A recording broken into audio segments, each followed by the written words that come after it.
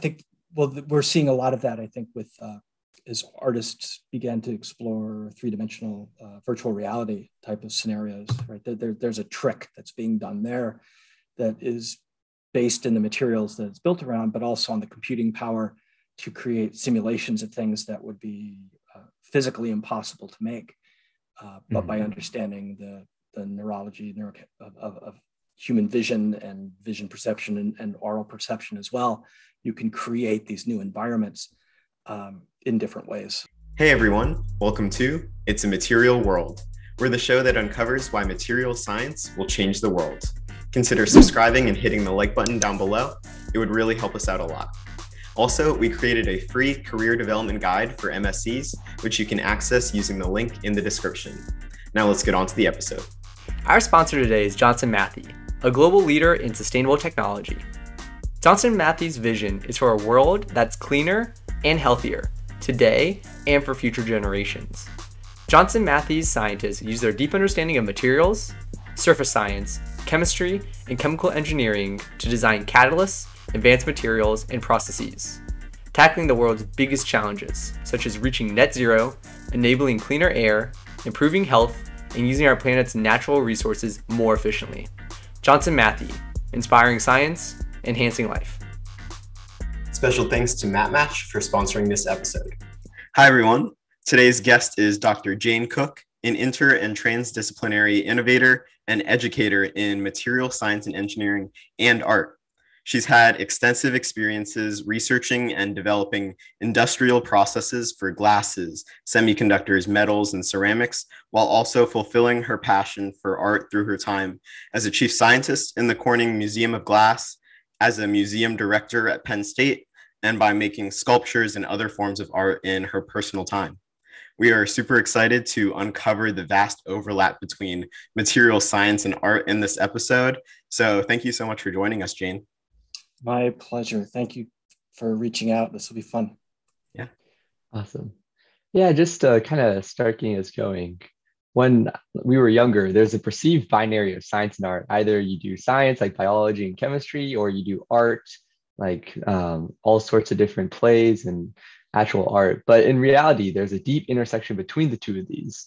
So, can you talk about that intersection in more detail and specifically how we can apply it to material science?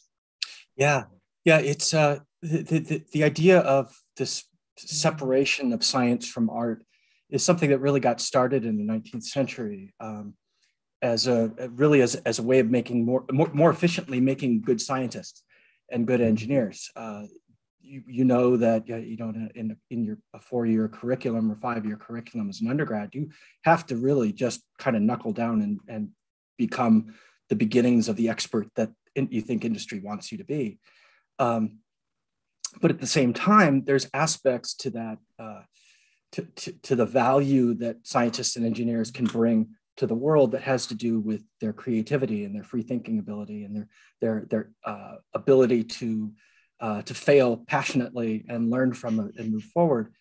And uh, that's kind of been taken out of the curriculum uh, for the most part. Uh, what what art and science have in common is at that is at that deep core that to, to when you when you're when you're being inventive when you're really not just kind of going through the scientific method hypothesis on through you actually have to generate the hypothesis from somewhere and where that usually comes from is from playing and from uh, just messing around and giving yourself a chance to, to pu- pu- push at the borders of things.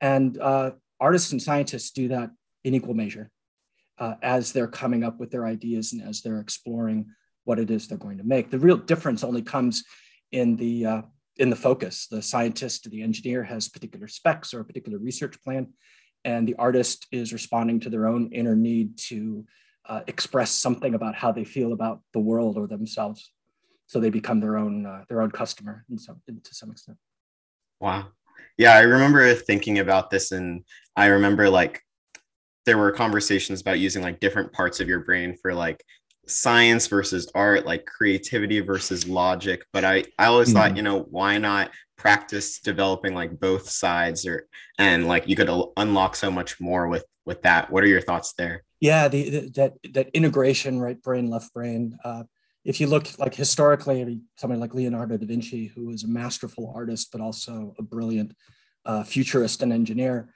uh, because of the ability to be a, a Renaissance person. Uh, we, we need to reclaim that. Um, we need to find ways to, uh, to, to, to, raise the, that, that interest in uh, the creative for the creative sake, but also for the sake of you know, mental health is an important part of it. Um, and how how to do that in terms of while still graduating in four years getting everybody has to double degree. I, I don't know what the answer to that is in terms of programming but i certainly always uh, encourage uh, young scientists young engineers even like stem k-12 you know when you're coming up through through high school to you know be in musical theater get into band take a shop class do something have hobbies outside of your, your math science uh, core classes just to be a good human. Uh, ultimately, that being informed, whether, whether you're a quote unquote good artist or not, uh, it's something that humans have done for tens of thousands of years that has been essential. And uh, I think it can only be of, of benefit to give yourself that kind of outlet in some way. Absolutely. Yeah, and so I know you mentioned um, in our previous discussion the the idea that artists are materials engineers, and we see all around us, whether it's sculptures or paintings or anything. I mean, they're made of materials, sometimes different materials, um, but they just practice in a different way. Artists versus traditional, I guess, materials engineers and engineering firms. So, I guess what exactly did you mean by that? And can you discuss the similarities between the two roles? Sure. Yeah. So when we think about uh, kind of first defining a little bit, uh, when I think of uh, a scientist and an engineer, I, they're, they're two different things, although uh, if, if they often they overlap in an individual, especially in the material sciences and engineering.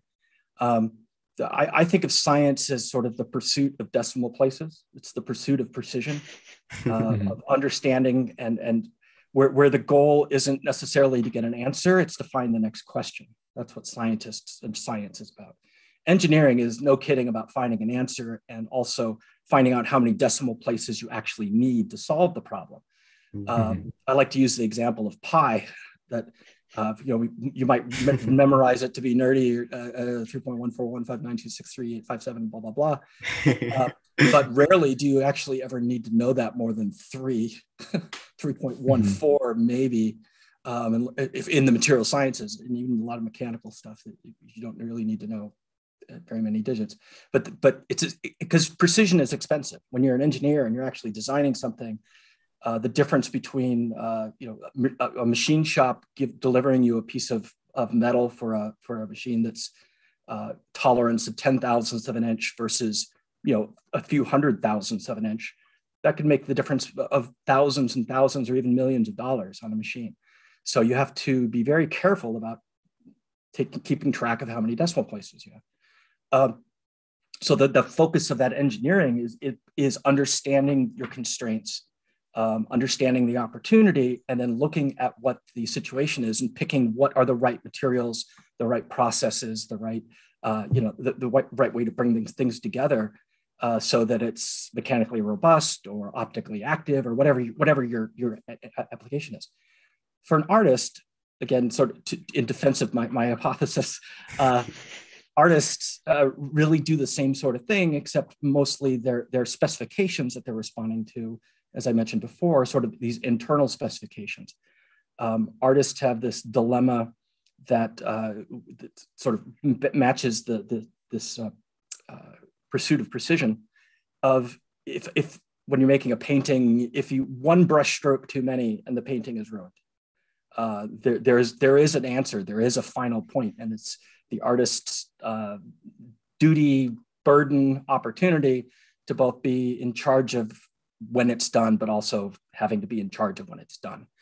Uh, so, and and all the principles that we learn in materials science and engineering about uh, specifying a material for all the different attributes for strength and and optics and you know uh, formability, malleability, durability in various environments, all those things have to be considered as you're in pursuit of some aesthetic specification as opposed to a purely technical manufacturing specification.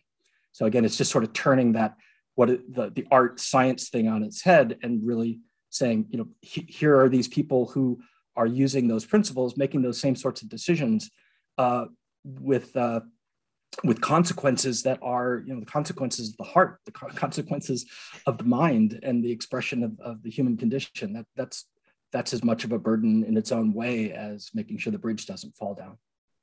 Taking a step back, if we look at like an example, could be like bio-inspired design. So that could potentially be an argument for both an artistic and a engineering combining to take a new step forward. Uh, and when we look at nature, we look at things like the Fibonacci sequence, where we see these very ordered mathematical scientific things occur in nature that we can then replicate in both art to look more realistic, but also in design. Mm-hmm. Do you think that's like the purest form of the artists and material engineers practicing in different ways? Or do you think we can go even farther beyond that point um, where we can combine the artistic vision and the engineering pursuit for DEFINITY um, to a farther point? Yeah, I, I, it's a great question. I, I don't know if I'm going to be able to, like, off the top of my head, say, yeah, that's that's the that's that's number one. Mm-hmm. Um, but I can say that um, artists know about this and, and they feel it. Sometimes they feel it in their bones, and sometimes, like me, they're sort of crossover disciplinary who who who are so turned on by the beauty of science uh, that that then becomes part of the foundation of what they express. Um, I mentioned like the Fibonacci sequence or the golden ratio. Um, those those principles of visual design or, or of, of, of, of uh, biological design um, actually underpin the principles of design of, of like when you're doing graphic arts um, and when you're uh, putting together even, even a painting. The, the, the, golden ratio and the Fibonacci spiral are all over Renaissance art. And on, I, I, challenge you, you, you actually can find a Fibonacci spiral on a box of breakfast cereal because the way that you compose a painting or a picture of any sort so that the human perception of it is uh, we perceive it as beautiful or balanced or whatever the, the, the term you use uh, really relates back to the back to human evolution in that the lowest frequency, the lowest risk way for us to understand and absorb information about the environment is the thing that we're going to perceive as the most beautiful. Orderliness is low risk. And, and so if we when we create design work, again, whether it's the Mona Lisa or a box of, of Cracker Jack, you, you, the, you will spend less energy on intaking the data if the data is presented in a way that humans have evolved in order to perceive the lowest path, which is a Fibonacci spiral, five-fold uh, patterning. All these things are, are absolutely ingrained in us. And so when artists can take that understanding from the sciences and be intentional with it, whether it's uh, just sort of making it so their design is good, but also even like taking that idea and making that idea of the scientific idea part of the artwork itself, uh, yeah, that takes that takes things to the next level for a lot of artists. And uh, it's been my pleasure over the last 10 years to really engage with members of the arts community and be that be that science bridge for them to help them understand uh, what it is they're doing, whether it's in you know mostly working with glass artists, but uh, with others uh, to help them understand what what in the material can take them to the next level, what in the science can take them to the next level. So, since you have that blend of experiences in science and art. I was just wondering, do you see like the golden ratio or Fibonacci sequence? Do you notice that in the art that you see every day, or is it, I guess, it's more subconscious? I see it, I, I see it everywhere. Absolutely. Okay. um, uh, yeah, I, I, see. So just like looking at, at my, my Zoom screen right now, if I go a little bit off center, that's actually a, a better composed picture. It's more uh-huh. exciting to the eye because you sort of see the out here and then it kind of comes in and actually finds my eye. But you have content off here, you have a lack of content over here, and it helps to draw the eye in to see it.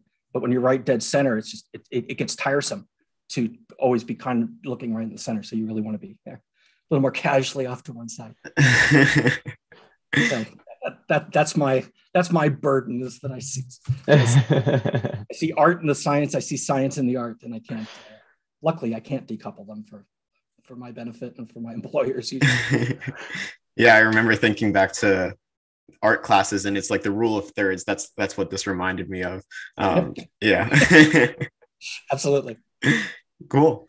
And then from the artist perspective i know this is different with an engineer. You kind of know when your project is done when you've like solved the problem. Um, i remember hearing a story about how um, there was an artist and and his friend and so when the artist was like um, like working on a piece the friend was like oh that's beautiful that's perfect like you just you got to stop but he just kept going kept going and every single time the friend was like oh no no he, you made the right decision you had to keep going that was a really important piece is that hmm. something you see um, like how do you learn to know when to stop yeah this this gets back to a really important principle of materials engineering process engineering uh, particularly mm.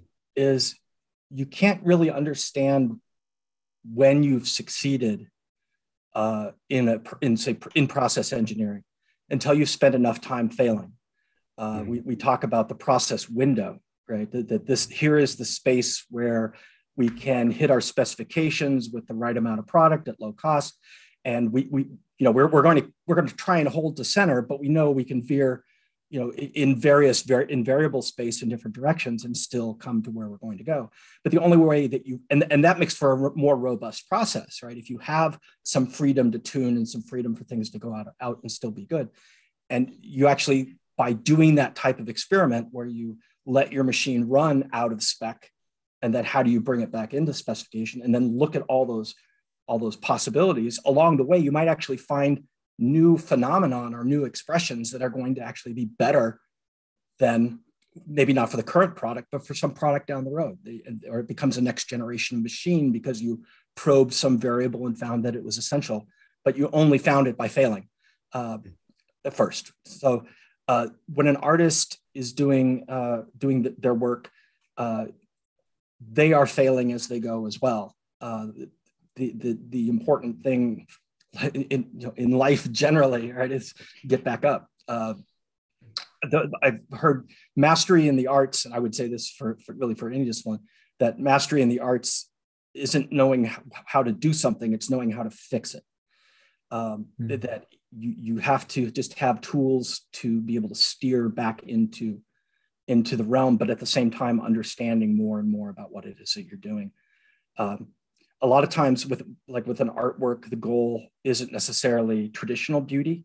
It's more about uh, building tension. It's having some sort of a dialogue in the work that that uh, forces the observer the, the the person interacting with the artwork to think about things.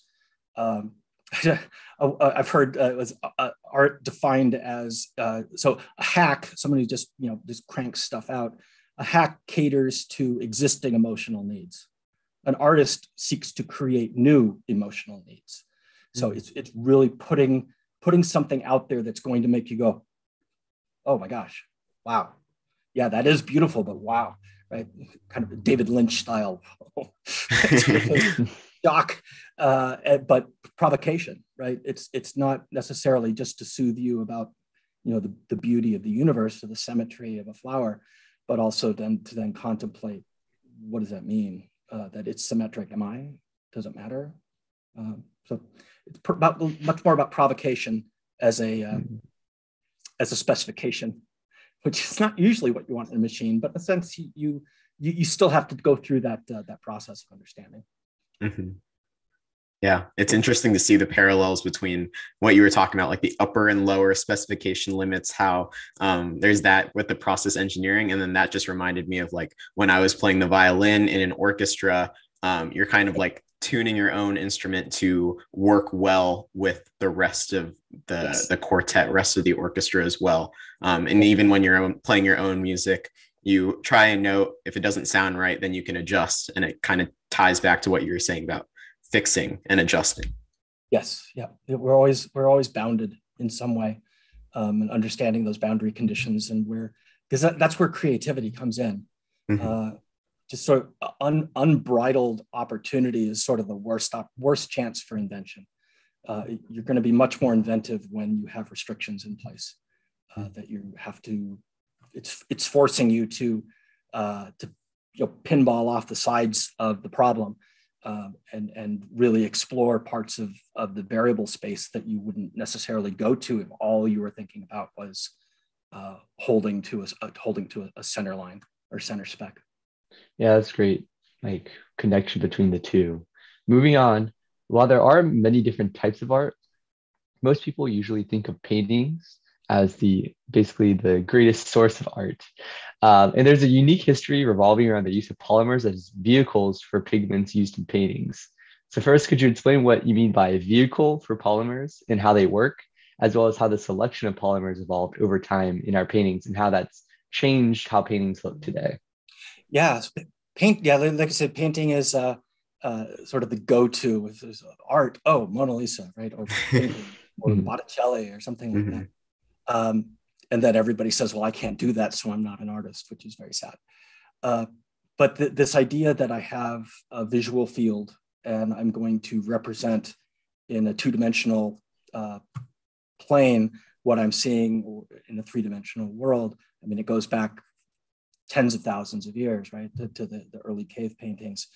Um, and there, the paintings either had no vehicle, no, no adhesive uh, binder uh, in them because the materials that were being used were sort of inherently, uh, had, had some, some inherent quality of stickiness. So like uh, the hmm. powdered iron oxide that we call ochre, which is actually about the color of my jacket. Uh, that, that if you have finely ground up ochre, uh, it, it actually sticks on your hands, it'll stick on the surface of, of a piece of rock. Same with carbon, you know, finely divided carbon with carbon black soot or something. That's very small particles, nanoparticles really, that then easily smear and, and have some physical and chemical adhesion to whatever you're putting it into. So they didn't really need a vehicle. Um, although there's some things like using chalk where the, uh, the painter would actually use saliva and there, so that was kind of one of maybe one of the first vehicles is you're then starting to have, use um, your body's natural proteins, uh, sugars, carbohydrates that are in your mouth then form a, an organic poly- based polymer that helps to hold things in place uh, for, for some period of time. Uh, that became more intentional, still uh, sort of building upon the, uh, the naturally sourced materials. I mean, always, materials, material science is ultimately about rocks uh, that have been purified in different ways. Uh, so going, going back to just the purity or, or whatever you could dig up or whatever maybe you could crush uh, that had the right colors or the right qualities, and then beginning to mix that with different things to make it stick. And people were just noticed uh, over time that uh, certain, especially with food products, right, whether it was like dairy products or eggs or fats um, or plant oils or plant materials, these different things with time changed, right? That they evolved. That maybe they lost water, maybe they they cooked, the proteins denatured in reaction with something else and made some sort of an adhesive. Uh, so things like uh, milk-based paints, casein-based paints uh, were some an early polymer that was used, or or egg yolks, tempera, using egg egg whites and egg yolk as, as the protein binder for the material. And then also giving it the binder, but also conveyed with the idea of vehicle is, is how it flows. Like how does it flow under the brush or under your finger or however to give you certain effects, um, getting it to be able to stand up so you have more uh, more relief in the in the picture. Uh, so all those things kind of contributed to the development of of what how art looked because you were able to get it to adhere to different surfaces and give uh, different types of vehicles when they dry will give you a different amount of reflection. So different types of reflection, more more uh, specular or more matte type of reflections, which change the way that you perceive perceive it in different, uh, different environments. But the vehicle also gets in and, and sort of wraps itself around all these tiny particles and changes whether the particles themselves are able to scatter or if they're surrounded by something of a, a, lower refractive index than they are, that then makes it so the colors become richer. You get less, you get more of a saturated color than you would uh, if it was just sort of adhered as, as a powder onto, onto a surface. So all these things then were coming into the 20th century uh, with intentional polymer chemistry, it, mm. the, the game has always been to first mimic nature as you know, biomimetic. Here's here here's here's my spit. Here's my milk. Here's my eggs. We know what that looks like. Give me something that does that because I like that, but I don't want it to yellow so fast. I don't want to be painting with my food, whatever. uh, it, it, it become or or you go back to it. Some artists now because you have those those those technical capabilities. Sometimes mm-hmm. it, it's it's fun or evocative. It actually becomes part of the art to use tech use uh, natural materials as part of what you're doing. Like if you're trying to reduce your uh, your microplastics footprint, for example, uh, moving away from acrylics because every time you clean your brush, you're sending a whoosh of, uh, of acrylic acrylates into the, into the water system. Uh, so it's th- th- there's opportunities there certainly. It's it's mm. it's one of the most fast I, th- I think a fascinating materials engineering story, both from the point of view of the vehicles and the pigments of how humans have uh, leveraged those things to for for for expression in different ways. So for artists, are they almost required to have a class in all the different materials? Because, like you're saying, all these different things, because they have different material properties, give different perceptions, whether it's more saturated or more reflective or etc. So, how is that normalized across art? And I guess, is it something that is beyond a lot of people and only the masters truly understand everything and how it works together as a material system? Well, go back to what I said about going back to what I said about the materials engineering or engineering versus science, right? Mm-hmm. Um, in in in the investigative way, it's important to know what sort of precision is available, so you can then intentionally dial back your precision so that you have the the accuracy that's only the accuracy that's necessary. Um, from the point of view of of an artist who maybe they can go to the to the local art store and buy a tube of paint uh, they don't mm-hmm. need to know really anything about the chemistry of what they're using um, because someone's already figured it out for them. So, from the point of view of, of how they use their time, how they use their resources, they don't need to know that. Someone's done that for them, and they can then go deep dive into the, the what they really want to be doing, which is experimenting with expression, right? Mm. So that's been a, a great gift to the arts in that they can then go farther because they don't have they aren't sitting there with a, a mortar and pestle and and uh, uh, you know sort of uh, additively putting additional amounts of either yolk or white into their tempera as they're as they're as they're dealing with it. Um, some artists like to do that. They like that level of control. They they want that precision to be a part of how they think about their material. And for some people, that gives them additional level of sensitivity to the material and, and uh, uh, the way that they might work the material. It's, it's going to, it's, you're going to see that, oh, this, they, I think they made their own paints here. This is that blue, you just can't buy that blue, right? Mm-hmm. Um, so that it, it, it's, it's very much about this doing what's absolute, doing what's necessary and finding ways forward, whether you have the the empirical, the scientific knowledge, I should say, whether whether you have that deep dive into you know the, the lengths of your chains and whatnot, and the rheology and non-Newtonian viscosities or whatever, that isn't necessary to know that to that precision in order to be a painter, hmm. uh, to be an artist. If you do know it, you might be able to do something that's going to be different and unique, but it's absolutely not necessary any more than it's necessary for if a if a material scientist buys a a bottle of alumina from Alfa Aesar they don't need to know how alpha how they don't need to know the sourcing of the alpha aluminum oxide. Uh, it's just that it's going into my it's going into my ceramic. That's all I need to know. I trust mm. I trust the upstream to have provided me with something that is uh, low risk and uh, well understood. Right, right. No, that's fascinating, and I'm excited to talk about the potential or the future of the space, especially as it pertains to Vantablack, which we'll get into later in this episode. Um, but right now, I want to touch on glass blowing because that's been fascinating to me ever since I went to Italy, went to see the Murano glass blowing, um, I guess, shop um, in Venice. And it was evident that this process isn't something that was perfected, refined overnight, probably took years and years, hundreds of years, thousands of years. I don't even know. Um, but it's clear there's a lot of materials engineering that comes into play. And so I was just wondering if you could explain uh, what glass blowing is and maybe talk through some of the physics and chemistry concepts that come into play here. Yeah, so glass blowing is, is kind of the it's, it's kind of the sexiest way of making things out of glass, but glass has been uh, formed by humans uh, for actually for over a million years. Some of the earliest uh, shaped artifacts actually weren't even made by humans; they were made by uh, Homo habilis, made from obsidian, natural occurring glass, because of what glass does, which is the particular type of conchoidal fracture. The way it breaks gives you the very sharp edges. Plus, you get the the look of the of that that glassy look.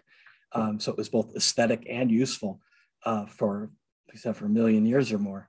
Um, humans only began to intentionally make glassy materials uh, probably about five or 6,000 years ago uh, when they've mastered fire enough to get things hot enough to actually make molten silicates. Uh, first um, in, in sort of in small forms or as a coating on, on ceramics, but then uh, figuring out finally to make uh, make the, the goo that you could then shape and that would stay shapeable for a while and would have these this wonderful range of, of color expression. Um, but that so that was like about 1500 BC roughly that the Mesopotamian, Mesopotamians and the Egyptians came up with a glass material that they were actually making things out of. But it wasn't, it was 1500 years until about a, a 50 or 100 BC that someone actually blew glass. Until then, it was always made uh, either by some sort of a casting process or by pressing it into a mold, and then often grinding out the center. If you actually wanted a hollow form, you either had to go and grind it out or you had to sort of dip, like, like dipping a, an ice cream into a into the chocolate. You would make a, a film of, gla- of the glass on the outside, and then you dig out the insides. But at some point, in a, like I said, about 100, uh, 100 BCE, somebody, and we don't know who, we don't know exactly where, we don't know why, uh, someone looked at a bubble in glass and said, "Oh, it's the vessel is already almost there. I just need to create the bubble within. How could I do that? Well, I can blow into a straw or into a tube, make a bubble of air, and there it would be." Um, and that was really the beginning of of glass manufacturing writ large. I mean, where you went from very few artifacts found in the world to hundreds of thousands of bottles throughout the Roman mm-hmm. Empire and beyond that were made by this, this process. So once people saw it, there was a again the materials engineering there was a need it felt there was an opportunity and there was a technology and a material and it just you know it was the first big thing and uh, people figured out pretty quickly how to use the material in that way to make bottles uh, or vessels or bowls or cups or uh, various things. Um, and essentially, what what uh, a glass blower does today is almost identical to what the Romans were doing 2,000 years ago. Um, it's, it's actually astonishing to look at a Roman bottle and see the delicacy of the decoration and the symmetry and the, the design of the form. Uh, there's uh, they, they were doing what we what we do now uh, with much cruder uh, implement, implements, um, maybe not quite as uh, with, with, as much success, uh, but it certainly was all happening then. Uh, now hmm. your blowpipes are stainless steel instead of instead of iron, or the or and, and the colors are far more vibrant and, and range of colors are available because of inorganic chemistry understanding. But overall, it's still uh, glass blowing is is not that different. A, Roman, if a Roman walked into a modern day hot shop, they would know what's going on. They would pick up a blowpipe, take a gather, and start working. It, wow. it wouldn't take very long at all. Yeah. I think yes. the underlying principles are so are, are so robust in terms of the coupling of viscosity and heat transfer um, and the materials reactions that uh, it once once you figured it out, you don't really want to change it that much because uh, glass is a cliff. It, you're either right or you're wrong. And uh, mm-hmm. people, by failing, learned learned what the, where those formulations were, uh, what was necessary for cooling it down slowly, and annealing the glass, uh, mm-hmm. what sort of changes you made to the composition, and how that would change thermal expansion compatibility or durability in water, uh, fracture toughness, all those sorts of things that would be very much uh, you know, the very underlying uh, materials engineering principles. On the topic of glass, and you briefly mentioned this before, but the idea of stained glass, how is that different? And what different processing steps does it have to get through to go from the glass that is clear or like one color to this beautiful finish where there's all these different types of colors? Yeah, so stained glass is interesting. It's sort of the opposite in some ways of the hot glass forming, right? Which is this sexy, dynamic, uh, athletic almost uh, activity to something as sedate as sort of sitting at a table in your in your basement and slowly cracking the glass, breaking the glass into different in, into the right size pieces. Um, of course, at some point, all the stained glass, in order to get into thin sheets, someone had to work it. So it was melted. It was shaped by some method, either by hand or by machine. Uh, sometimes the, the, the, glass itself was colored uh, with certain colors that are very bright, vibrant, that are easy to make in the glass, things like cobalt blue, or, for example. Um, mm. But other, other colors in the glass are actually applied afterwards, so they're painted on. Um, but there, now we're back to painting, and now thinking about well, what sort of pigments would I use? What sort of vehicles would I use in order to apply things to the glass? And that uh, becomes this whole other area of of experimentation, uh, some stained glass painting is actually fired on. So you actually paint with enamels and then you bring mm. it hmm. back up to four or 500 degrees C, let the enamels, let the vehicle burn out, let the enamels melt and, and fuse into the glass. Uh, but other times it, it, they're just, they're painted on and uh, with, with some sort of a water durable or light durable uh, adhesive as a part of the powder in order to get the, get the colors but to, to, me, one of the most fascinating things about watching a stained glass artist work is actually watching them break the glass, watching them cut it into, you know, these sinuous lines and then going in and, and just running the crack exactly where they want it to be. Uh, so that the, the break, the way glass breaks, I mean, going, going back to Homo habilis, the way that glass breaks is as fantastic and as um, important and intentional from both the materials side and the art side um, as how you work it when it's when it's uh, molten. Uh, it's still something that glass does uniquely well that humans, whether arts, artists or engineers, have learned to leverage. You mentioned like the enamel and how that's incorporated into the system. So that just made me wonder, I guess, how much work is being put into uh, art systems where there's multiple different types of materials that come into play. How is that figured out? Yeah, uh, it's trial and error often. Uh, Seems to be a theme here. I'm paying attention, right? That's that's the heart of experimental design. It, a lot of it has just been it's, it's, sort of handed down that people know that, or people have come to know that uh, if if these two things go together, then they'll stay together, and if we don't, then these will break apart. Um, mm. One of the things that I've tried to do in my in the classes that I teach to artists, particularly, is uh, teaching them mixed media, what they call mixed media approaches to hot glass, and how to, uh, what's the science behind when metal and glass will stick together, or metals and ceramics or enamels will stick together, and how to, how to anticipate that.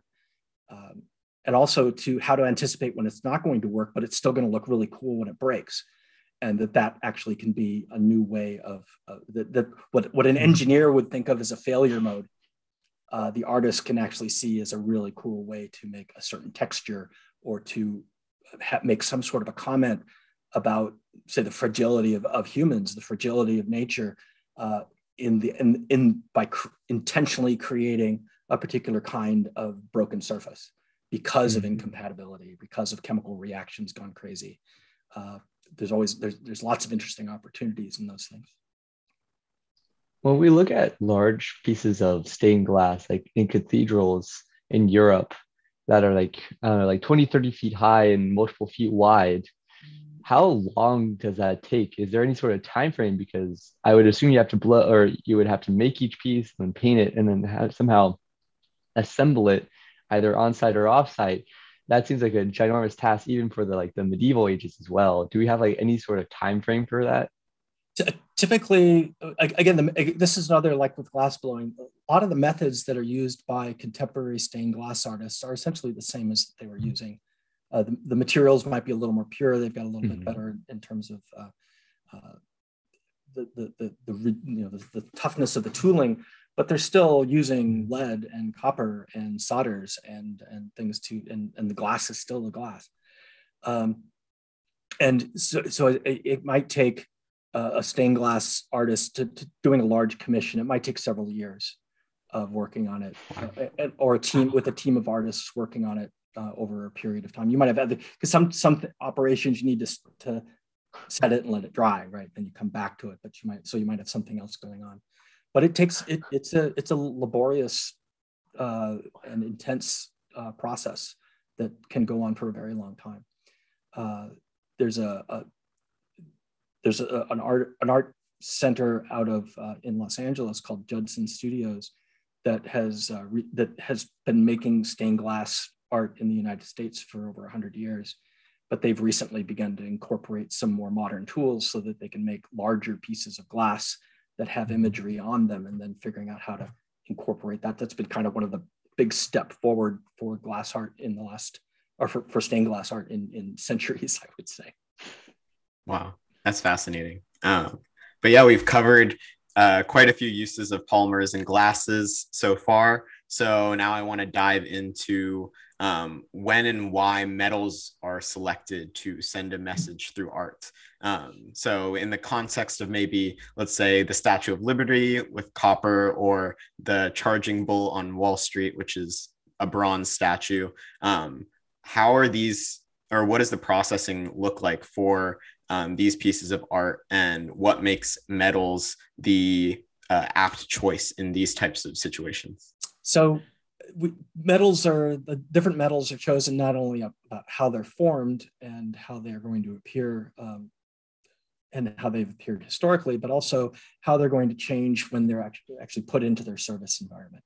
And so this gets into the issue of, of oxidation, corrosion, or the artists call patination or building up of a patina that where the, the you're not actually going to see the metal uh, and because I mean on earth metal doesn't happen very often. It's a very uh, we, have got a lot of oxygen around and most metals like to react with oxygen and, and other things.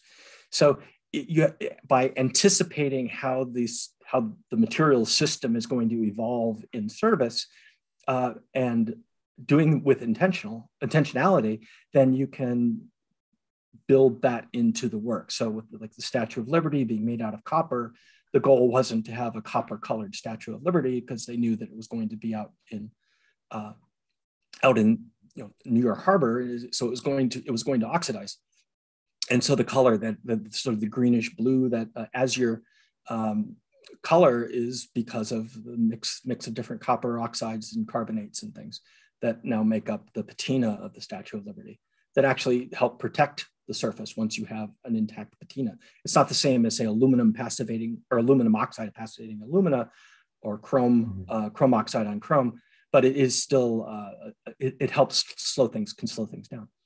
Uh, similarly, bronze with uh, the, the, the bull on Wall Street, uh, the bronze look of bronze is actually the look of a, an intentionally rusted, well, it, rust is usually uh, held back for specifically for iron alloys, but uh, specifically oxidized and treated so that it has that, that dark umber appearance that is, that denotes sort of strength and durability. Yeah, I, I never really knew. I knew that it was a copper color when it came to America, the Statue of Liberty was, but I didn't know that France intentionally made it so that it would uh, oxidize over time and change colors yeah, yeah. Uh, uh, for whatever reason, I just thought it was a mistake. uh, Didn't they know it was going to rust? like, yeah, like no, they, they knew where it was going. It wasn't the first thing made people have been making stuff out of copper for four thousand years. So yeah, I guess to be fair, I didn't really think about it that much uh, about the logistics of uh, they sent this like 60 foot tower and like nope it's going to stay like this forever um, uh, but another interesting idea is that we talked about it was in the harbor. So they knew the environment, they knew how it was going to react over time, and they thought about that throughout their planning. And yes. so another thing that you talked about was having art in space, which is now a new frontier of where we can put things and the form can now completely change because of like the lack of gravity, for example. Uh, and the idea that we could tell a story of humans as an extraplanetary civilization. Could you yeah. talk about this idea further and kind of how do we do this in a uh, like a logistical manner? Because it seems very hard to get anything up into space right now. Well, the good news is that it's it's getting easier. Uh, yeah. I think in the last uh, well last five years really, and really it's it's it's accelerating uh, mm-hmm. right now. Uh, the the the commercial uh, building building in space with, with rockets and soon space stations NASA just announced a grant funding for three companies that are going to be building uh, commercial space space stations for whatever needs to be done uh, after the ISS is uh, decommissioned. So it, it's happening, and uh, hmm. and people are thinking about it. People are thinking about uh, the, that cultural side of it, in, in addition to uh, how does it enable you know manufacturing of different things because if you don't have gravity, you don't, for example, you don't have buoyancy. Um, and so if you have a temperature variation in a molten system uh, and you don't have buoyancy, then you don't have the sort of cells and mixing, and which can lead to phase separation and all sorts of things that can mess up. But if you if you know if you do it right, you can actually then make things that are actually sensitive to those situations and, and fabricate materials that are impossible to make on Earth uh, because you're making them in zero gravity. And if that has enough of a, of a cost advantage, then you know, people will want it. Um, from the art side, we're just beginning to uh, uh, kind of understand what is going to what's going to bring value right? It's still going to cost a lot of money. So what are people willing to pay for in the early years of, of the human humans off planet? Um, and what is going to be again to this aesthetic spec what is going to be evocative right? What's going to really uniquely communicate about the human condition that is worth making in these extraordinary environments currently extraordinary.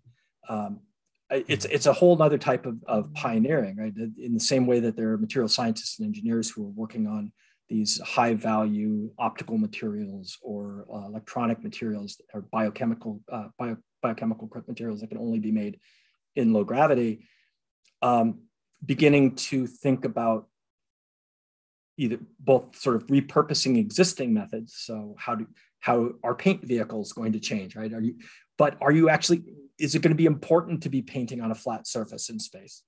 Um, mm-hmm. or because you, instead of i mean we have a plane on a wall and we're standing in gravity and so we then address that that surface in front of us.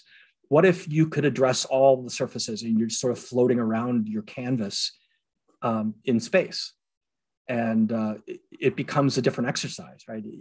Now suddenly painting in the round or in the sphere is it becomes a, a more more feasible. You're not going to you're not sitting there having to spin it around. You just sort of move around it. And what sort of looks, what kind of gestures are, are more appropriate for that type of way of working. Uh, it's it's kind of I think the process is sort of started with the computer digital painting, like painting on your computer, and the beginning of people painting and sculpting in, with uh, uh, with um, 3D goggles on. So, so you're actually creating three dimensional forms with your hands that then are remembered by the computer, so you can make a virtual sculpture. Um, mm of forms that you couldn't make if you were trying to squish it into a piece of clay or carve it into a piece of wax or stone. And then you can 3D print that if you want to, or it can always live as a, as, as a virtual piece of sculpture. So extending that, uh, that ability of the human mind to come up with metaphor, right? To, to think about, well, this is, this is the idea that I've got. Here's a new medium. Here's a new, new toy of way to, to explore uh, that that idea, people will figure it out. I have no idea what space art is going to look like, but I cannot wait to see it. yeah, it just ties back to that same theme of trial and error. That that's what it'll take to uh, figure this out, quote unquote. Yeah, and it's going to take materials engineers and scientists to help it out uh, to to make it happen efficiently, but also it has to happen safely. And so, people who are working on uh, you know, aerospace engineers working on user interface design and, and safety protocols for, uh, for, for currently for space stations and then ultimately for say uh, moon bases and Mars bases. There's going to be very particular things that you cannot do, right? You're not mm-hmm. going to be blowing glass on a space station gathering from a hot molten furnace. You're not going to have a torch uh, on, for, probably on a space station for a very long time uh, for good reason. Mm-hmm. So what what does glass blowing on a space station look like? What are you going to be making? Why are you going to be making it there?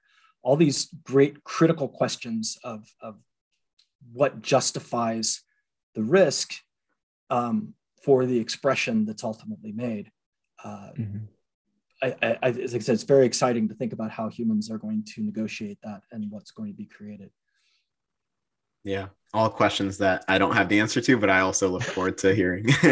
um, but yeah, we we talked about uh, Vantablack before. We briefly mentioned it, um, but it's a topic I want to discuss because it utilizes advanced materials uh, like mm-hmm. nanotubes to take color to a whole new level. Um, and I read online that it, it absorbs 99.965% of visible light to create one of the, if not the darkest pigment.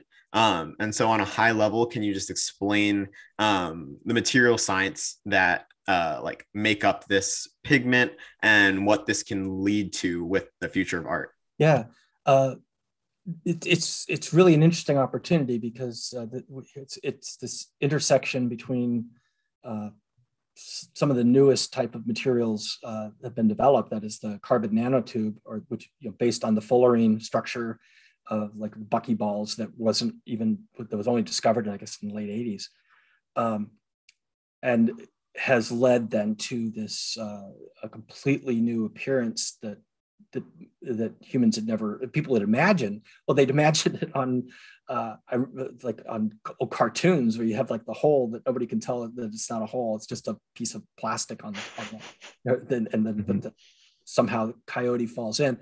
Um, it's that level of blackness when you see it, it. It's like you cannot believe your eyes, your your evolution will look at that and think that it has to be there can't be anything there. It, it's negative. It, it's it's it, it's not that it's just a black surface. It's like there's nothing there, and and so that level of, of sort of this dysphoria that it induces, you know, back to that idea that our, the, the duty of art is to create new emotional needs.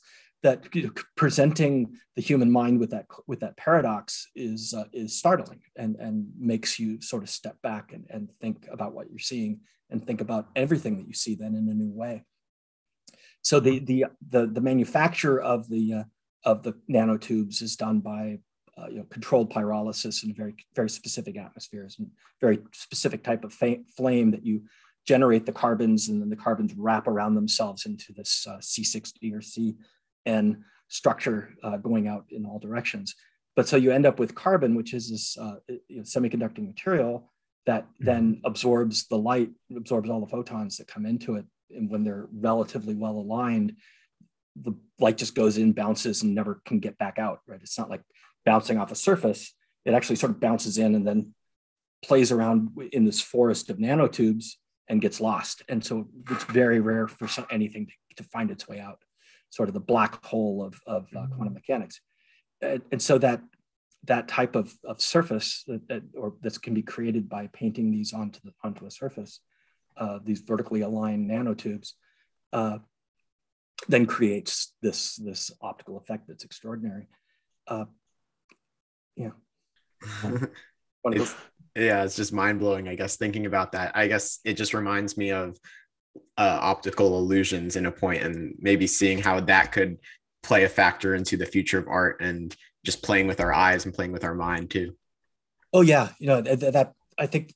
Well, we're seeing a lot of that. I think with uh, as artists began to explore three-dimensional uh, virtual reality type of scenarios. Right, there, there's a trick that's being done there that is based in the materials that it's built around, but also on the computing power to create simulations of things that would be uh, physically impossible to make.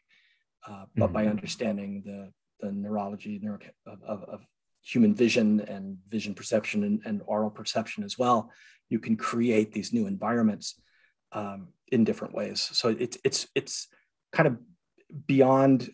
We, we've talked mostly about sort of the made world, right, of, of art mm-hmm. as object, uh, but art as performance and art as experience is also going to have a revolution that uh, that the uh, I, think the Vantablack is a nice sort of bridge for that uh, creating uh, these new new types of human experiences, whether it's in music, uh, uh in performance, in visual uh, sensation, tactile. I mean, people beginning to have tactile so that you can actually stimulate other parts of the body, simulated chemistry, so you can have olfactory.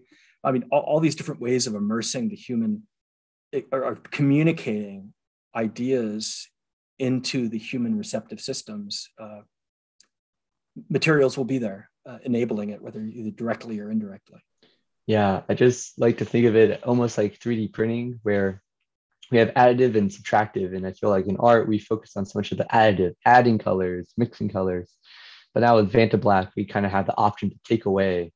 And so I can only imagine what artists can figure out how to use this in an intriguing way where they make some painting and they start taking away parts by just painting over it with Vantablack and just seeing how that can create new illusions.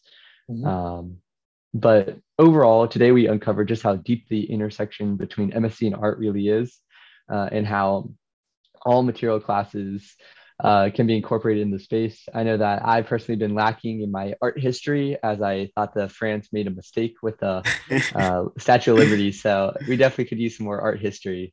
Uh, but considering everything we discussed today, what advice would you give to materials engineers who are interested in getting into this art field and learning more about it, or even potentially, like you said, creating the intersection between the two? Take an art history class. it's a little late for me, but uh, I'll definitely tell that to everybody no, else. It's never, too late to learn, believe me. Um, I think that there's sort of the formal and the informal. I would guess. I would say. I mean, certainly, like for uh, for freshmen who might be watching this and or getting ready to go to college, uh, try to try to uh, if, if it works for your for your budget and your needs to find an institution that values um, uh, a liberal arts education alongside of an engineering and sciences education mm. um, to the extent that's possible, or in a location that even if it's not happening on campus, you can uh, be involved in the art scene wherever it is that you're going. Uh, if you can, uh, you'll have electives uh, along the way. Think about electives that aren't just sort of the, the throwaway, well, I've got to take an English class, so I'll just take English Lit, 20th century English Lit. Think about it a little bit. Maybe talk, go, go talk to the professors and say, hey, I'm a material scientist. I'm interested in uh, the broader use of materials and culture. Are there any classes that I could take? Maybe they're 300 level, maybe they're 400 level. That would be uh, maybe a, a, chance to explore that. You might even be, find yourself in a really cool um, uh, uh independent study because the, the, the, professors could be could be interested in enabling that sort of thing. So get out there and, and you, you kind of have to fight for it in some places and or, or, dig it up. And, and I encourage to do that as part of like your education and then dovetailing that where you can into your into your uh, science and engineering education. But the other thing is uh, on your own, whether you think think of yourself as an artist or as a musician or a performer, keep those parts of yourself alive, um, nurture them while you are also nurturing your science nerd and uh, look for opportunities to get to for those crossover points.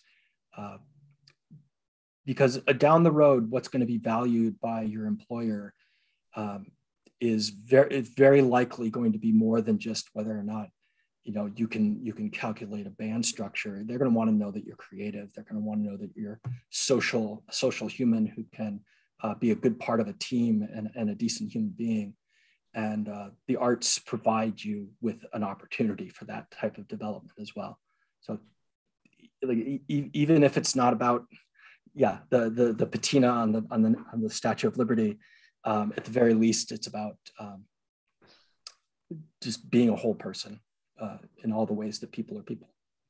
Right. Yeah, you're unlocking new ways to think, and that's what employers seek is that creativity when you're problem solving. So, I yeah, I couldn't have said it better myself, and I just wanted to thank you, Jane, for coming on to the show today. Um, it was a pleasure having you. My pleasure, guys. This is great. Good luck. Thank you for tuning in to this episode of the It's a Material World podcast. If you enjoyed the show, consider subscribing, hitting the like button down below, and commenting what topics and guests you'd like to see next. To download our free career development guide for MSEs, check out the link in the description. We'll see you soon, and in the meantime, go change the world.